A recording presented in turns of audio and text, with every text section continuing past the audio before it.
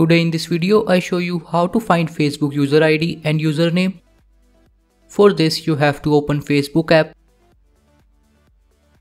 Now open profile page like this. Click on these three dots. Now you have to click on your profile link. Now profile link is copied. Open this website from video description and paste the link you copied here. Now you can see facebook.com slash and the word between the question mark is your username. You can see this is my username. Now if you want, you can find your Facebook user ID by the profile link you copied earlier. Now click on lookup. Scroll down. Now you can see this is my Facebook user ID. So this is how you can find your Facebook user ID and username. And if you want to find out about others user ID and username, then open their Facebook profile.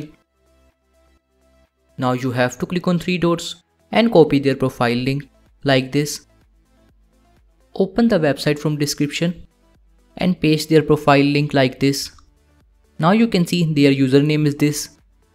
And if you want to find Facebook user ID, then click on lookup Scroll down. You can see their Facebook user ID is showing here. So this is how you can find others Facebook user ID and username.